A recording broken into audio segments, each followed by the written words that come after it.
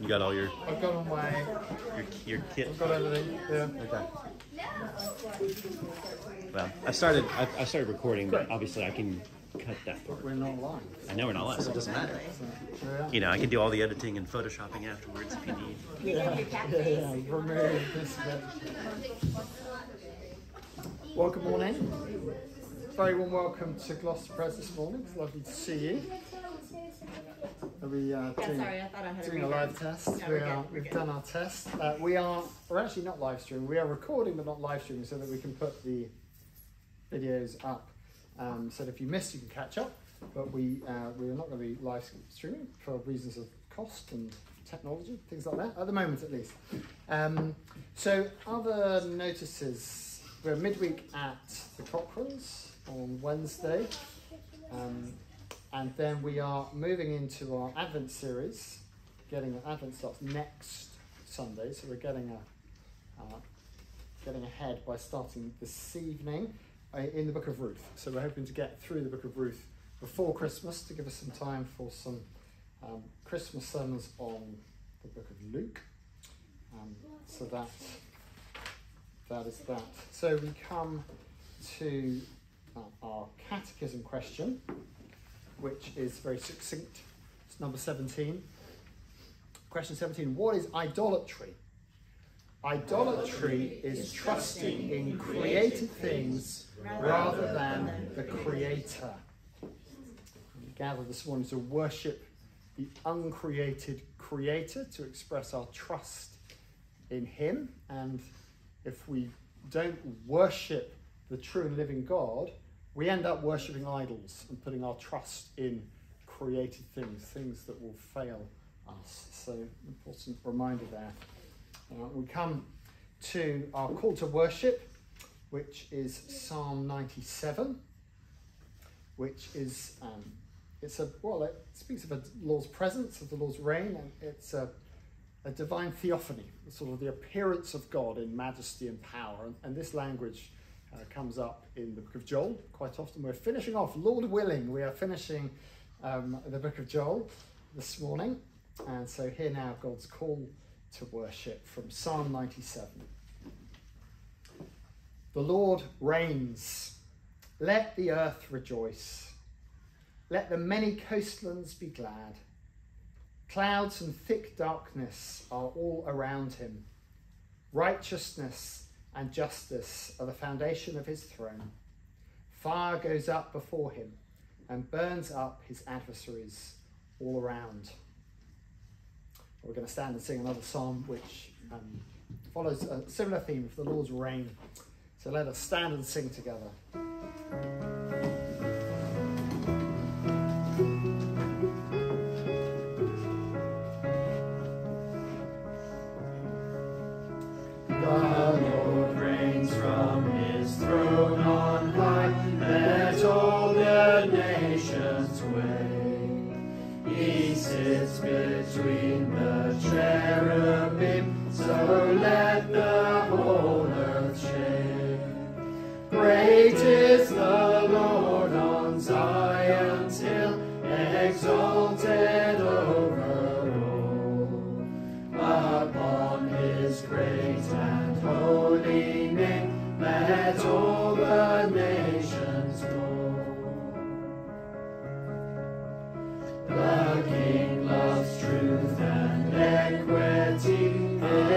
Established by his might. In Jacob you have done for us all that is just and right. Exalt the Lord our God with us, let all the world abroad.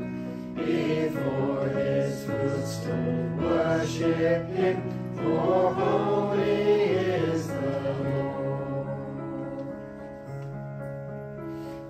Moses and Aaron were his priests,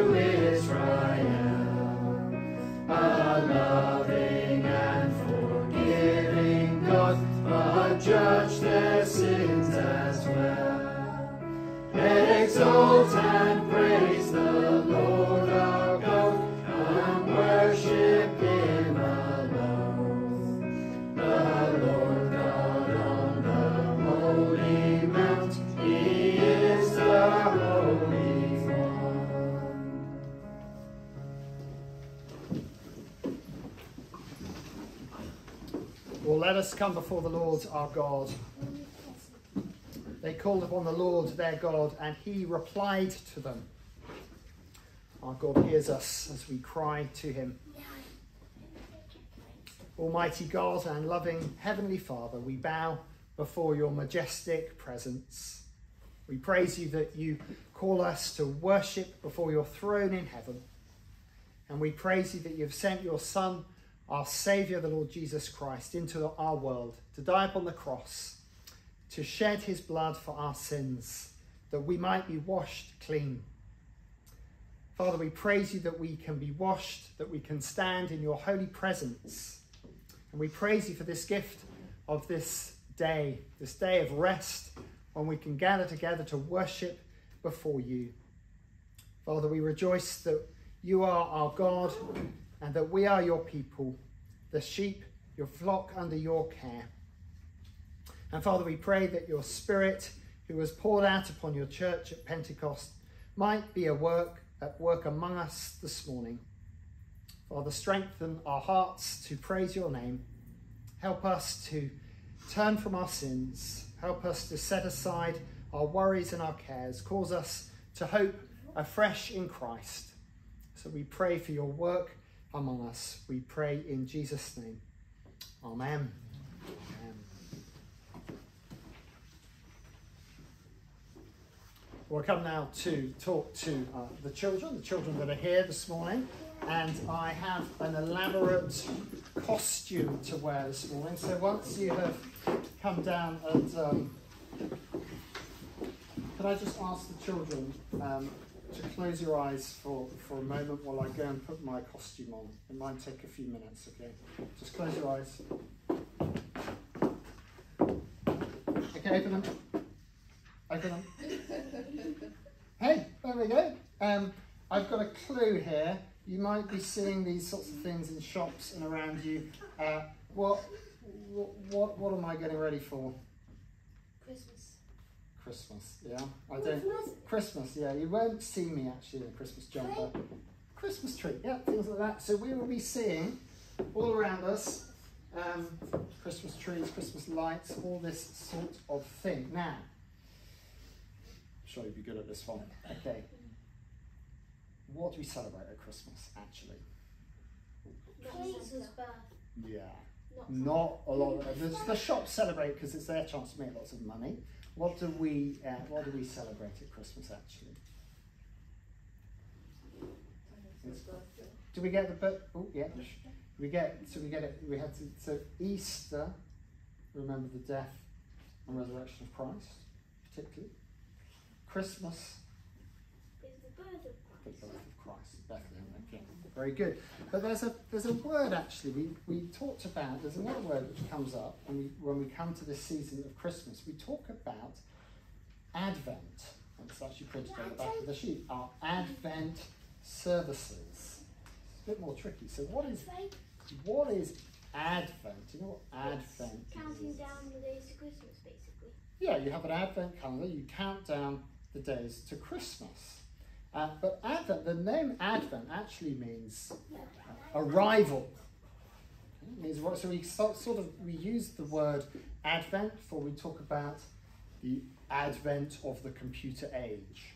Some of us are nearly old enough to remember the advent of the computer age, sort of, quite.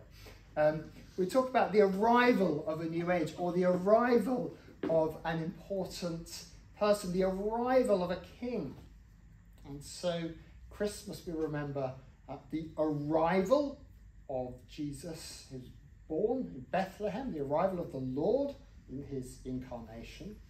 But at Advent, we also look forwards to uh, the Lord's return in glory, his advent, his arrival as majestic king, as the judge of all the earth. And so at Christmas, we might count down to Christmas, we might look forward to that. Some of you might look forward to birthdays as well at this time of the year and that sort of thing.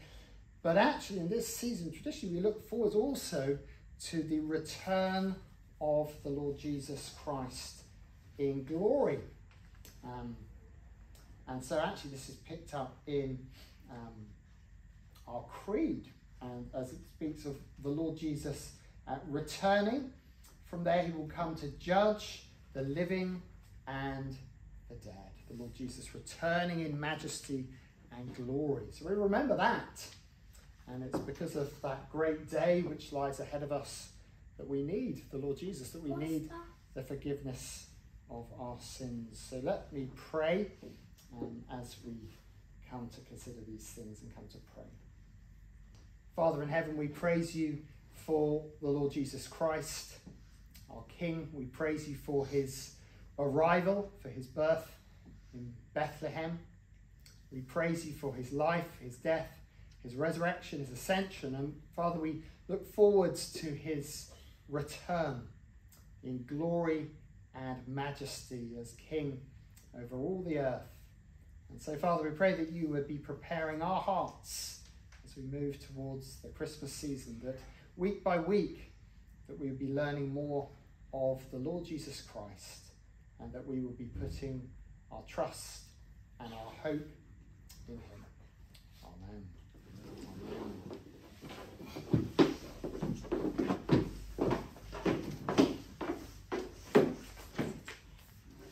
So let us then uh, confess these great truths of the Christian faith together.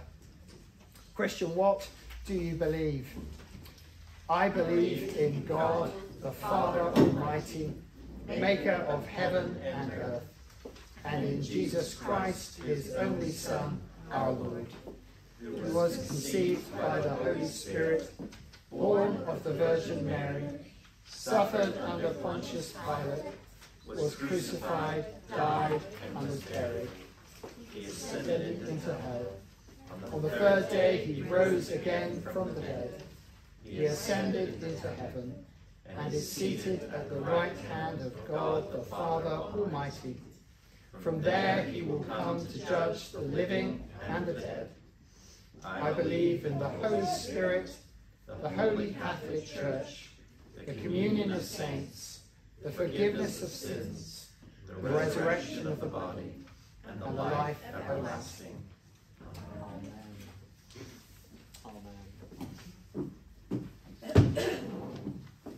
Let us then, in view of Christ's returning and his glory and majesty, let us turn to God in prayer.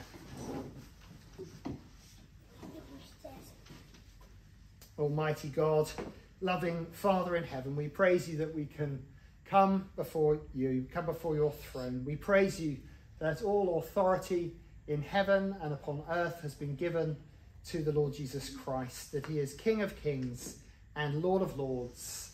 And we praise you that forgiveness of sins is found in his name. We praise you for his mighty gospel, which is preached and made known throughout all the nations. And Father, we remember your uh, covenant promises to bless the world um, through, through the Messiah.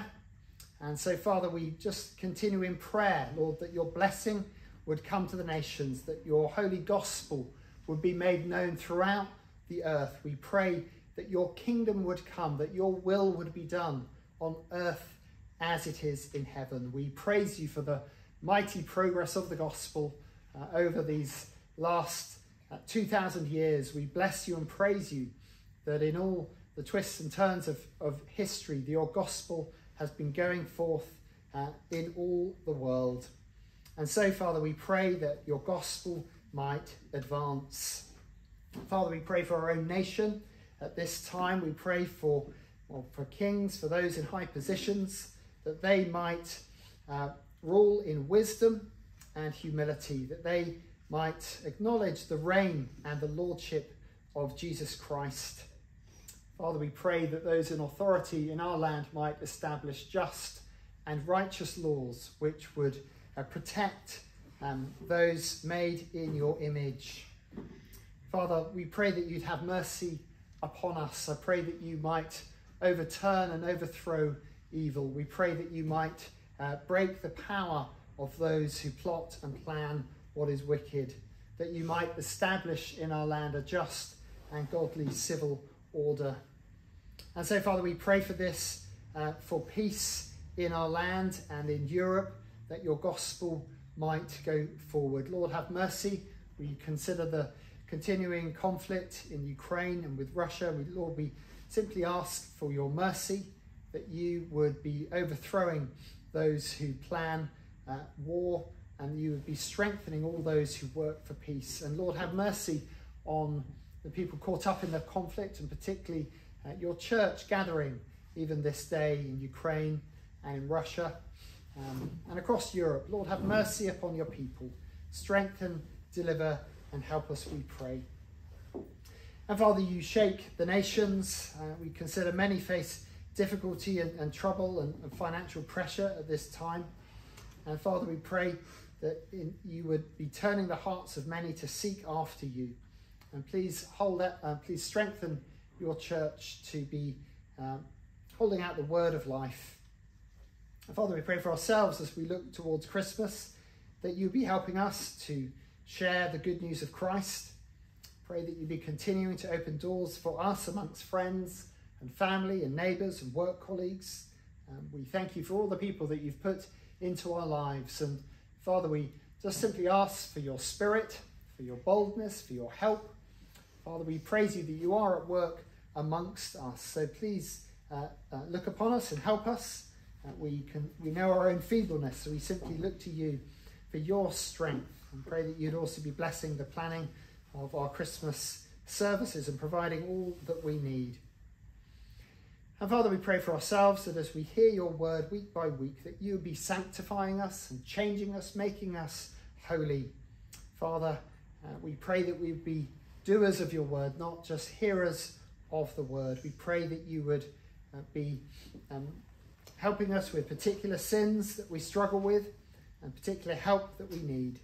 Uh, please lead us not into temptation, but deliver us from the evil one. Sanctify us by your truth, for your word is truth. Make us holy, we pray.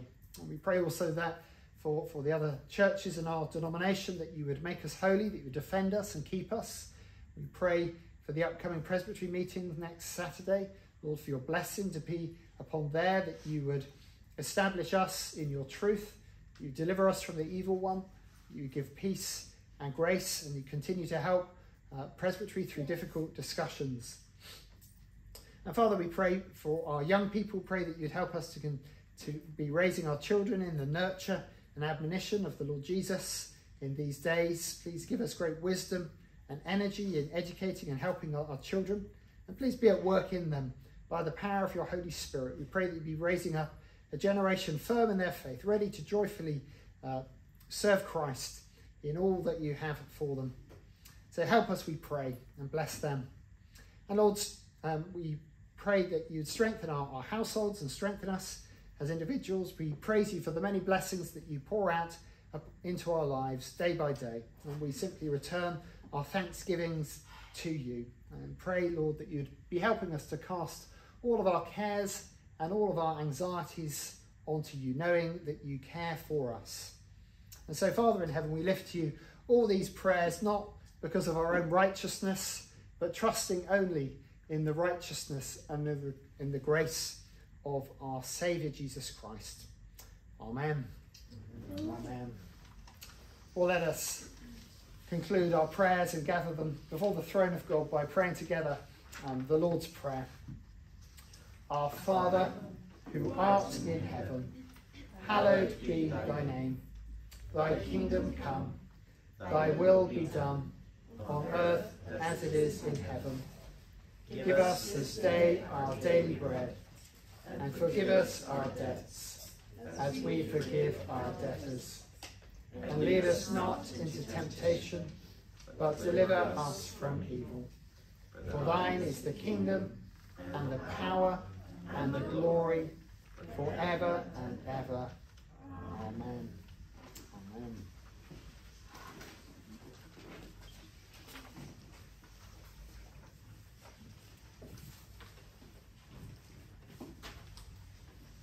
Come now to our Bible reading and to this uh, grand finale in the book of Joel. And we'll find that many of the themes that he has weaved together come uh, together in a crescendo, a sort of crashing finish as we close here. And he's um, chapter, the beginning of chapter three, Joel started a, a section on the judgment to the nations, and there's a, a prose section, and from verse 9 onwards uh, to the end of the book, there's a, a, poetry section dealing uh, with the judgment to the nations and salvation for his people Israel.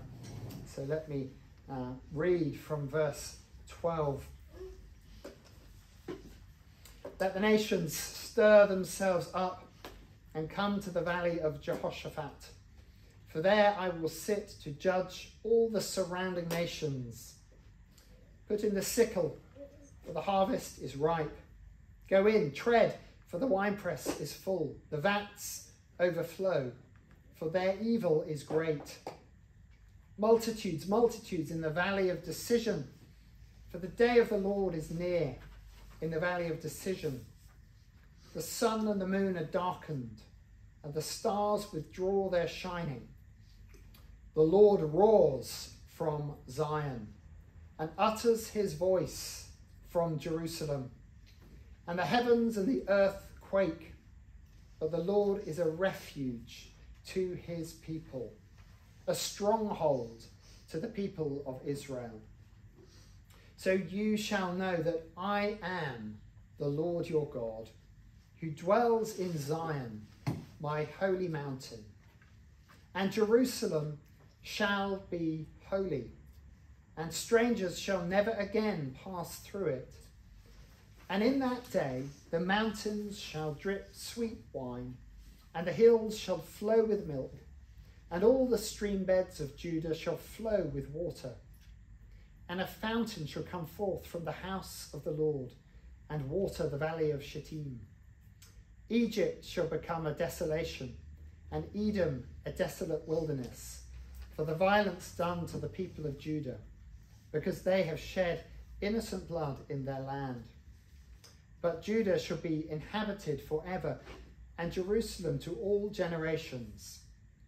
I will avenge their blood, blood I have not avenged, for the Lord dwells in Zion. Well, may God bless the reading and the preaching of his word for us this morning. And so this uh, final section in the book of Joel breaks into really two parts. Um, it starts off with the Lord's judgment of the nations, 12 through to 15. And then you have this section where the, the Lord roars from Zion, the Lord's presence with his people, and the Lord being with his holy people in this um, from verse 16 to the end. So the Lord judging the nations and the Lord being with his people as their refuge uh, and as the one to bring um, salvation and blessing. So it's judgment and salvation. As we come to this, this first section from verse 12 uh, about the nations stirring themselves up and coming to the valley of Jehoshaphat, for there I will sit to judge the nations, all the surrounding nations. Now, the nations that he's talking about, that Joel is speaking about, are the, the nations surrounding his people Israel that had caused them uh, such difficulty. So he's mentioned Edom and Tyre, um, and Tyre and Sidon. And then right at the end of the, the passage of reading, he mentions uh, Egypt in verse 19 and Edom again. So these are historical nations that have been causing Israel great trouble and attacking them. And the Lord is saying here that he's going to actually deal with those nations and bring judgment uh, upon, upon them. Um, so really this is meant to, to encourage Israel that have been pressed down and facing difficulty that the Lord is sovereign and that he will judge the nations. And they're all called together into this valley of Jehoshaphat. Now, we mentioned this before, there's just great discussion about this valley of Jehoshaphat, and actually historically great confusion about it because um, well, in the fourth century, an anonymous pilgrim actually gave the name the Valley of Jehoshaphat to the valley which was just east of Jerusalem. So between the, the, the city and the Mount of Olives, there's a little valley, and someone, someone in the fourth century said, well, that's the Valley of Jehoshaphat. And so as a result, for centuries, people thought, well, this little valley was um, the scene of the, the last judgment, um, which caused great co- confusion to medieval theologians as how people would actually fit into this little valley. Um, various theories about that. And actually, pilgrims would even place a stone in the valley to reserve their spot, I suppose, to get a, to get a, good, to get a good view.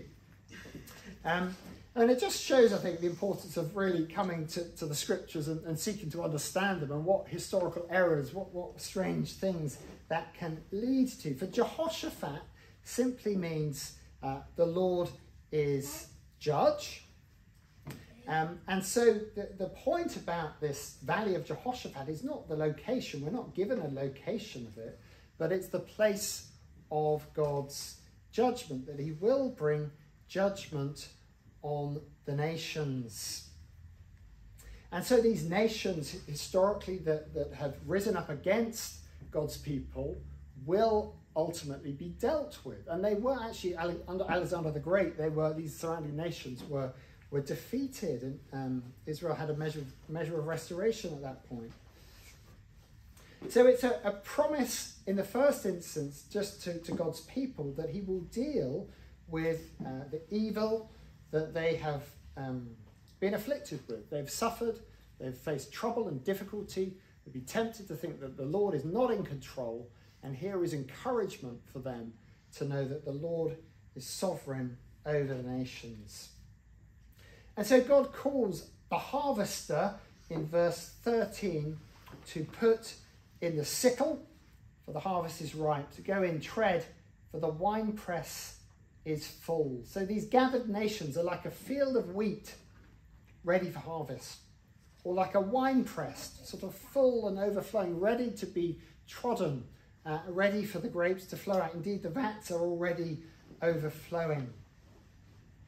Um, the identity of the harvest are not mentioned here, but it's the Lord who is commanding. So the nations are ripe for judgment because their evil is great. Their evil has reached full measure. So in the Bible, again and again, we're promised that God is just and righteous, and we're shown that he does at length, in the end, bring judgment upon evil individuals and nations. In the end, he does act to overthrow all that is wicked. But he does it when the time is ripe, when the time is ready. We saw that, didn't we, with the well, the account of Sodom and Gomorrah, that the Lord sent the angelic visitors to go and see was it as bad as, as the rumours had, had been. And they found that the corruption of, of the people at that time was very far advanced. Their perversion was not hidden away in back alleys, but um, was paraded through the streets and celebrated. The cities were ripe for judgment, and so judgment fell. But also in Genesis with Abraham, um, remember that when the Lord promised, he, well, he promised that Abraham and his descendants would go to Egypt for, for, gen- for some generations and then be brought back to the land. Um, and the reason given was that the, the iniquity of the Amorites, the inhabitants of the land, is not yet complete. So the, the nations were not, at the time of Abraham, ripe for judgment. That would take several generations of these Canaanite cities to get worse and worse before ultimately the Lord came and brought his judgment upon the nations.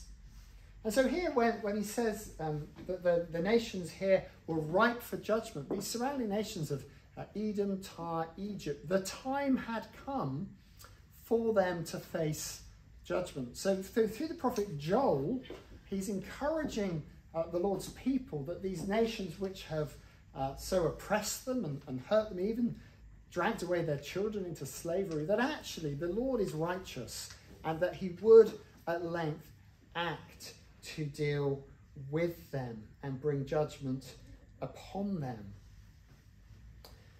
And so um, this great host was gathered for judgment. Verse 14 multitudes, multitudes in the valley of decision. The word multitudes it can refer to the, the great mass of the crowd itself or the, the noise made by the great tumult. You imagine a great army gathering together and the great noise of a gathered army. We, we sort of hear from our house the, the noise in Kingsholm Stadium on a, on a Saturday afternoon. There's a great roar going up from just that little stadium. But here, you know, a great multitude and just the noise of the tumult going up, this great uh, noise uh, gathering, uh, which would be very threatening to the, to the people of God. But here uh, they come to meet their Maker, they come to meet the Lord of heaven and earth. Multitudes, multitudes in the valley of decision. And the valley of decision is the valley, the place where the Lord will render his judicial decision, the place where the Lord sits as judge. We sometimes use this expression, don't we? The valley of decision. We say, oh, I'm in the valley of decision when we've got a big decision to make. We can't decide whether we want to study astronomy or, or biology or something. Or um, we think, well, I'm in, I'm in the valley of decision. Um, uh, but actually, here, the valley of decision is the place where God makes his decision. Are they guilty or are they innocent? He's going to bring his verdict against the nations, and they have been shown to be evil, richly deserving of judgment, ripe for judgment. So God sits ready as the judge on that day. And that, that is the place where he's drawn them. And, and he says that the day of the Lord is near in the valley of decision. And the day of the Lord, this expression, the day of the Lord, which has come up in Joel before, it's the day when the Lord uh, carries out the sanctions of his covenant, the day when the Lord acts, um, the day when the Lord executes his, his judgments um, and his blessings. So Joel has, has mentioned this day of the Lord as the time when the Lord would bring his judgment against his own people. Uh, remember, the, the locust cloud were gathering against Jerusalem, and the day of the Lord was threatened to come. Here, the day of the Lord is against uh, the nations, the day of God's judgment against these nations. Verse 15 The sun and the moon are darkened, and the stars withdraw their shining. Familiar language in, in Joel, the language of cosmic decreation. Um, just as the sky turned black when the locust plague came over that people, uh, over Jerusalem. Here, uh, the sun and moon darkened because the time has drawn near for the judgment on these surrounding nations of Edom and Egypt and the nations which had attacked Israel.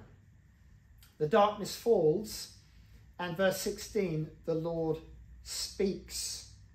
The Lord roars from Zion and utters his voice from Jerusalem, and the heavens and the earth quake. Here we have the appearance of the Lord himself, the Lord who renders judgment. He speaks to announce his verdict. And Joel uses this very striking image of uh, the Lord appearing as, as a lion. And we find this at the beginning, right at the beginning of the book of Amos, the Lord roaring from Zion. And in Amos, actually, the Lord's word is against his own people, Judah and Jerusalem. And here the Lord is roaring from Zion against his uh, against his enemies, against these nations. That's one of the things C.S. Lewis picks up on, doesn't it? This, this imagery in, in um, well, all the Narnia Chronicles about how the uh, Aslan is this great lion who, who roars and, um, and speaks out against the, uh, uh protects, thinking of the horse's boy, protects Shasta from the enemies. And the, there's, a, there's a scene there where Shasta is comforted by the presence of this cat and then the cat sort of turns into this lion and roars, and the, the jackals and all the night creatures which were threatening Shasta are there, swept back and pushed back, and there's this um, Aslan, there's this lion roaring, Um, and and this, this language, actually, we, we find this language of the Lord roaring as a lion, different places in the scriptures, but here we find him in, in Joel and then in Amos, the Lord roaring from Zion, uttering his voice from Jerusalem. So it's a very striking uh, image here. And so we see that the voice of the Lord in great authority and power. And we see that throughout the scriptures from Genesis to Revelation, the voice of God speaking and creation coming into being. Uh, we see uh, the voice of the Lord. We, we, read that psalm last week, Psalm 46, uh, verse 6, that the nations rage, the kingdoms totter. He utters his voice, the earth melts. Or Psalm 29, verse 4 The voice of the Lord is powerful, the voice of the Lord is full of majesty. The Lord rules over the nations, he speaks, and a, we have a nation falling uh, into dust or a nation being destroyed. It is all uh, governed by the, the voice and the command of the Lord who reigns from Zion. And so here we have um, the Lord utters his voice against the nations, but the Lord restoring his covenant people, Israel. Verse 16. But the Lord is a refuge to his people, a stronghold to the people of Israel. So you shall know that I am the Lord your God who dwells in Zion my holy mountain. So here there is a distinction between the nations and the Lord's covenant people. Uh, his people. He is a refuge to his covenant people. He is here a stronghold to his people. So the Lord is going to speak in, in, in majesty and awe, and the, the nations are going to fall under his, his judgment and yet, here is the Lord who is a refuge and a stronghold to his people. He is going to dwell in their midst. And here the Lord is promising a restoration of his covenantal presence with his people. Uh, they'd suffered greatly, hadn't they? They'd been disciplined by the Lord. They'd faced locust plague and great trouble. But that Joel is promising here that the Lord would restore his people. And we find this in the prophets. We find it in the prophet Isaiah uh, a, a, similar prophecy that, that Jerusalem would be purified, that actually Jerusalem would be devastated but then purified. So um, Isaiah chapter 4, verse 5, then speaks of then the Lord will create um, over the whole site of Mount Zion and over her assemblies a cloud by day, and smoke and the shining of a flaming fire by night. For over all the glory there will be a canopy, there will be a booth for shade by day from the heat, and a refuge and a shelter from the storm and rain. So, there again in Isaiah, this language of the Lord uh, making Mount Zion a place of shelter, a place of his presence. And so, this is the, the promise here in Joel is that God is going to dwell with his people again, in the midst of his people.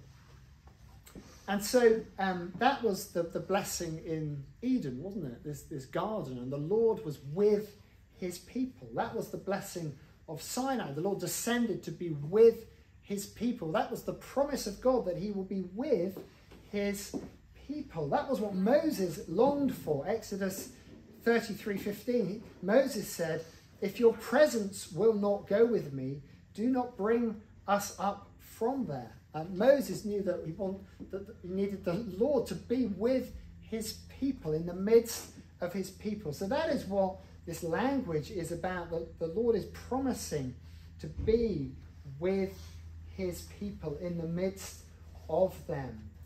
So you shall know that I am the Lord your God who dwells in Zion, my holy mountain. And Jerusalem shall be holy, verse 17, and strangers shall never again pass through it. He's speaking here of they've had invading armies coming in. So here is a promise that the Lord's uh, city will be uh, secure. So it's a promise of pr- protection for God's people. It's a promise of His presence with them. And then, verse from verse 18, there's a promise of the restoration of uh, the covenantal blessings, God's blessings with His people. Verse 18, in that day the mountains shall drip sweet wine, and the hills shall flow with milk, and all the stream beds of Judah shall flow with water. So the Lord is restoring blessings. Uh, they'd been devastated by locusts, plague. They'd been turned into this waste place, this desert. But the desert would be restored to being a garden, like a garden of Eden once again, a fruitful, abundant garden. And uh, a fountain shall come forth from the house of the Lord and water the valley of Shittim. So blessing was to flow out from the Lord's house, like at the end of the book of Ezekiel, where blessing flows out from the temple, from under the altar, to flow out uh, through the land, bringing life. So there is this great reversal. Earlier, Joel has said that the land, which had been like Eden, will become a desert. Now the desert is becoming like Eden, a place of delight, a fruitful, a bountiful land. And the nations which have been prosperous would become desolate. Verse 19 Egypt shall become a desolation, and Edom a desolate wilderness. There'll be a reversal. And again, for the violence done to the people of Judah. We're reminded that he's dealing with in this all this language of a real historical events. But then Judah, this promise, shall be inhabited forever, and Jerusalem to all generations. I will avenge their blood. Blood I have not avenged, for the Lord dwells in Zion. So, what is he promising? Well, he's promising a restoration for the people of Israel after all that they've suffered, a restoration of his, his presence with them. He'll dwell with them, a restoration of blessings. They've had blessings removed, they're going to have blessings restored, uh, a restoration of, of peace and abundance. And as part of that, he's going to overthrow and deal with evil that has afflicted them. Um, so he's promising that to God's covenant people who face all sorts of difficulties, and particularly through uh, the exile and the restoration. And so, as we, we think about these things and as we draw these things through to, to meditate on Christ and think about uh, his work uh, and, and the appearance of Christ in the New Testament, what are the, what are the lessons for us? Well, I think one of the things we see very clearly through this is simply God's sovereign power to judge the nations, his sovereign control over all these things. We see in the prophets, we see here and elsewhere in the prophets, we see the rise and fall of nations. We see Edom and Tyre and Sidon, and God can raise them up, He can gather them together, He can bring them down. Um, and as we read the Old Testament, we see um, God's judgments, um, that these do not just occur right at the end of history, um, although that is the, the last and final judgment, but God works out his purposes in the midst of history. He's sovereign over the whole lot. And, and I think that's just a great encouragement for us to remember as when we look at the world in which we live, when we look at the nations of the world, when sometimes it looks like things just go from bad to worse and wickedness advances, we are tempted to lose heart and doubt that God is sovereign. Um, but actually, we, we are encouraged to see that the Lord reigns. Um, maybe you're not so worried about the rise and fall of nations, but you are worried about the rise and rise of uh, gas prices and things like that. Well, even that, uh, the rise and fall of nations, it, it impacts our lives in many ways, but yet we need to trust that the Lord is sovereign over all that happens around us.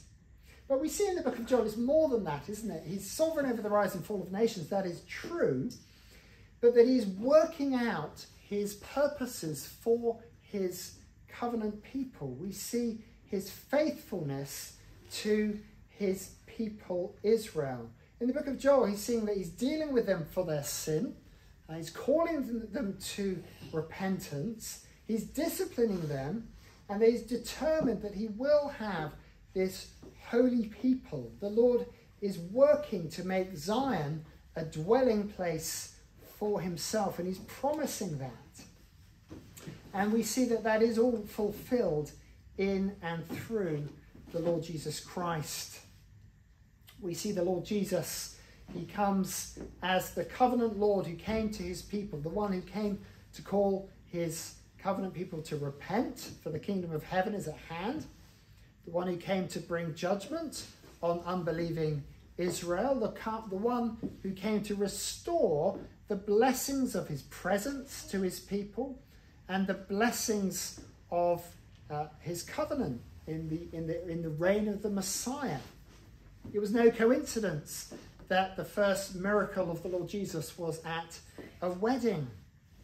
And it is no coincidence that this first great sign of the Messianic age was the, the, this, great, this great miracle of the turning of water to wine, this great provision, this great abundance. No, um, no accident that the Lord fed his people so that they were satisfied. The Lord in the midst of his people bringing blessing. These are the signs of the messianic age, that blessing uh, that he um, came has, has begun. And we see in as the Lord comes, we see the Lord's purpose to sanctify and make holy a people for his own possession. And such is his unwavering commitment to that purpose that the Lord himself went to the cross. On the cross, our Lord Jesus endured the wrath of God uh, at Calvary's tree. That was the great day of the Lord in history, the day when the sky turned black and the sun was put out, all the lights went out, as at Calvary. The full weight of God's wrath was poured out on the Son of God, and there our sins were dealt with at the cross. Our sins were dealt with at the cross. If you're trusting in Christ, your sins are forgiven. And the day of judgment, when the, the, the, God of heaven and earth pours out his wrath against your sin, that is in the past. That has been dealt with by Christ at the cross. The trouble with our sin often, aren't we? We worry about it. And yet, if you're in Christ, your sins have been nailed to the cross. Christ died and he rose, and he rose that he might bring blessings, the abundant blessings of the new covenant, the new wine of the new covenant. And these gifts of bread and wine that we're going to share in later are just signs of that blessing, signs of that covenantal blessing, of that satisfaction that we have. We, when we eat, uh, we, have, we are satisfied. And when we feed on Christ, we experience rich satisfaction. We experience his blessing. And he is the Lord who has promised to dwell in our midst. He is the Lord who dwells in the church. Jesus Christ uh, said, All authority in heaven and on earth is given to me. Go make disciples among the nations, uh, baptizing them in the name of the Father, the Son, and the Holy Spirit, and I am with you always, even to the end of the age. That is the Lord's promise of his covenantal blessing. That, that is a, a, the promise of his presence. It's not a promise that we have to wait to until we get to heaven to enjoy. The promise of his covenantal presence is the promise that the church has now. He is with his people. He will guide and lead his people. He will purify his people. So we see that all these things find fulfillment in the Lord Jesus Christ in his death, his burial, his resurrection, his pouring out of the Spirit. The Lord is with his people and he is creating a holy people for himself. And so there's rich, rich encouragement for us in the book of Joel. We hear that call uh, for us to repent, to turn to Christ. It's very much uh, the book of Joel boils down to a uh, come to Jesus, turn from your sins kind of message. But there's just rich encouragement for us here of the Lord being with his people, of his power and his glory. So let us put our trust in him and hope in him. Amen. I'm going to close with a prayer of um, written by John Calvin as he was preaching through the book of Joel. Grant, Almighty God, that as we are assailed on every side by enemies, and as not only the wicked according to the flesh are incensed against us, but Satan also musters his forces and contrives in various ways to ruin us, a grant that we, being furnished with the courage thy Spirit bestows, may fight to the end under thy guidance and never be wearied under any evils. And may we at the same time be humbled under thy mighty hand when it pleases thee to afflict us and, to, and so sustain all our troubles, that with a courageous mind we may strive for that victory which thou promisest to us. And having completed all our struggles, we may at length attain that blessed rest which is reserved for us in heaven through Jesus Christ our Lord. Amen. Amen. Well, we're going to stand and sing a song which speaks of God's presence and provision for his people.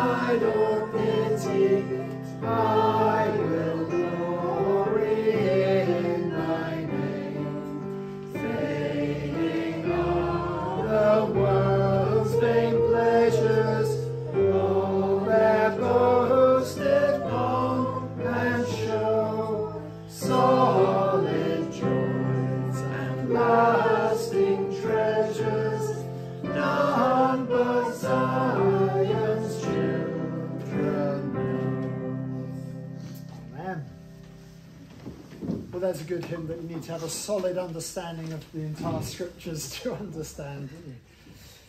Well, we come to uh, celebrate the Lord's Supper together.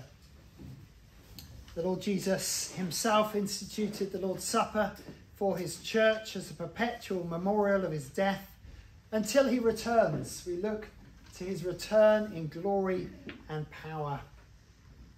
It is a remembrance of his once for all death for sin, but not only a memorial, but a means whereby God feeds us and strengthens us with the crucified and risen Jesus Christ. As we eat bread and drink wine by faith, we receive Christ and the benefits of his death, the forgiveness of sins, the washing of the Spirit, eternal life. The Lord's Supper is a sign showing us Christ and his benefits. It is a seal confirming afresh all his covenant promises. And as we receive the Lord's Supper, we remember that Christ is present with us. The Lord dwells with his people. The bread is ordinary bread, the wine is ordinary wine, yet we enjoy fellowship or communion with Christ by the power of the Holy Spirit. We partake spiritual food and spiritual drink. 1 Corinthians 10, verses 3 and 4. Like the Passover meal before it, this is a meal for God's covenant people. And the Apostle Paul warns about sharing in the Lord's Supper carelessly. He says, Whoever eats the bread or drinks the cup in an unworthy manner shall be guilty of the body and blood of the Lord. And he says, let, let a man examine himself, and so let him eat of the bread and drink of the cup. For he who eats and drinks, eats and drinks judgment on himself if he does not judge the body rightly. And so, if you're an unbeliever or living in defiance of Christ's commands, then don't eat, but seek the Lord while he may be found. But if you're a baptized Christian seeking to walk in obedience to Christ, however feebly, then take and eat, for Christ came into the world to save sinners. And children, if you are baptized and understand that Christ died for your sins, if you're trusting in him, then this is for you. And this is something you've been talking to your parents about, and they can talk to myself or Michael so that you can soon come and join in this covenant meal with us. Well, let me pray as we come together to share the Lord's Supper. Father in heaven, we praise you for all your blessings. We praise you for your wonderful gifts in creation that we enjoy, for our food and our drink. And we praise you for this bread and this wine that you've commanded us to set apart and to use in this covenant meal. And Lord, we bless we praise you for the Lord Jesus, for his death on Calvary's cross, for all of our sins. And Father, we pray that as we eat and drink, that you be at work in us, that we be rejoicing in our salvation, that you be strengthening us by the power of your Spirit, that we would rejoice in hope in the midst of this world, that you renew our faith. Father, work powerfully in us by your Holy Spirit, even as we eat and drink and share this meal together. Amen. Well, our Lord Jesus Christ, on the night when he was betrayed, took bread.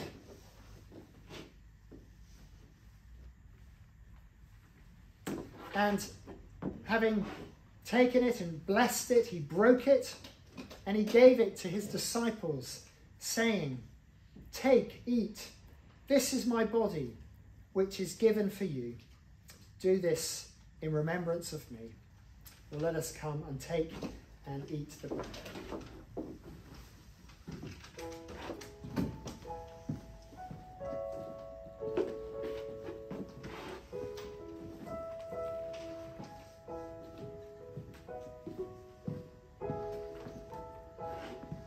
The Lord is my shepherd, I shall not want. He makes me lie down in green pastures. He leads me beside still waters. He restores my soul.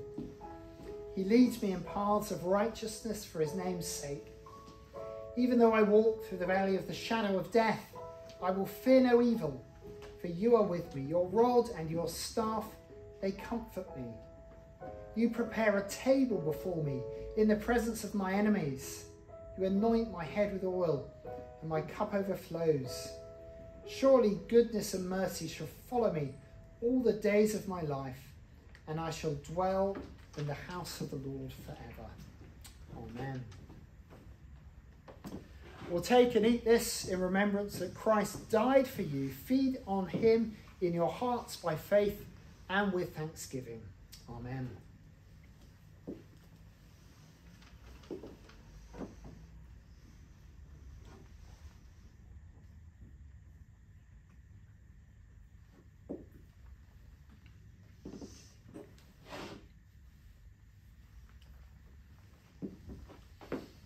Well, after supper, our Lord Jesus took the cup and gave it to his disciples, saying, This is the blood of the new covenant, which is shed for you. We now receive um, the cup.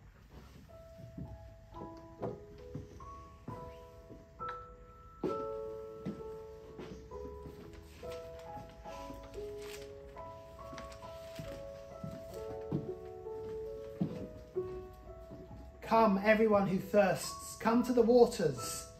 And he who has no money, come buy and eat. Come buy wine and milk without money and without price. Seek the Lord while he may be found. Call upon him while he is near. Let the wicked forsake his way, and the unrighteous man his thoughts. Let him return to the Lord, that he may have compassion on him, and to our God, for he will abundantly pardon. For my thoughts are not your thoughts, neither are my ways your neither are your ways my ways, declares the Lord's. For as the heavens are higher than the earth, so are my ways higher than your ways, and my thoughts than your thoughts. We'll drink this in remembrance that Christ's blood was shed for you, and be thankful.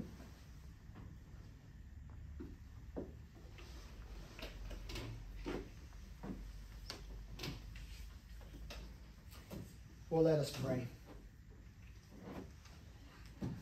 Heavenly Father, we praise you that we are your covenant people, bought by the precious blood of the Lord Jesus Christ, that you have redeemed us, that you have purchased us through Christ's death. And we praise you that we are your redeemed people, that we dwell uh, in your presence now by the power of the Holy Spirit, and that we shall dwell with you in all eternity. And Father, we praise you that this gospel, that this good news goes out from heaven, from Zion, and we pray that this gospel would go out even to the ends of the earth, that the gospel of grace would go out from us, from this place, from our lives, and into the world. We ask this in Jesus' name. Amen. Amen. Well, please stand and we're going to sing the doxology. Praise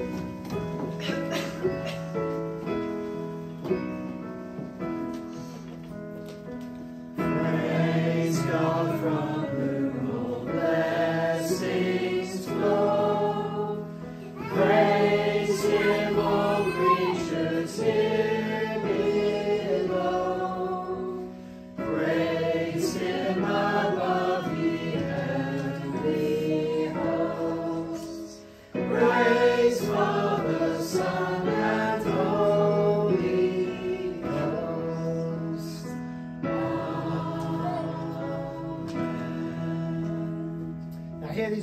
blessing. May the Lord bless you and keep you, and may the Lord make his face to shine upon you and be gracious unto you, and may the Lord um, turn his face towards you and give you peace. Amen. Amen.